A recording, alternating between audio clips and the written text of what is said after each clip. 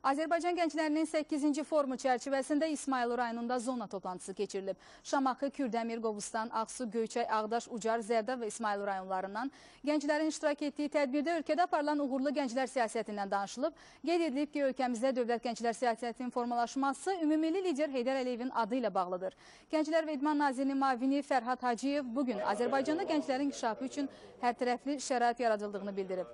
Qeyd edib ki, ölkə başçısı tərəfindən həyata keçirilən dövlət siyasətində gənclər mövzusu prioritet istiqamətlərdən biridir. Tədbirdə ölkənin ictimai siyasi həyatında gənclərin rolu yüksək qiymətləndirilib, onların uğurlarından danışılıb.